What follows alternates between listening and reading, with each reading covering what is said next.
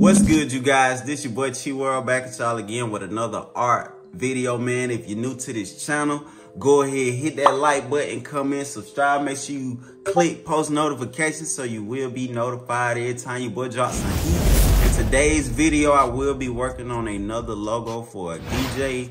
And what he want is something cool with his little DJ table. So we're going to come up with a dope concept you know what I'm saying? Just like I'm telling you guys, anytime you're starting on work, get you out a little notebook, get your pen out, and draw out your blueprint before you even start executing your idea. So that's what we're gonna do first. We're gonna come up with a nice little rough sketch, and then we're gonna open up Adobe Illustrator and get right into it. So without further ado, let's get right into it.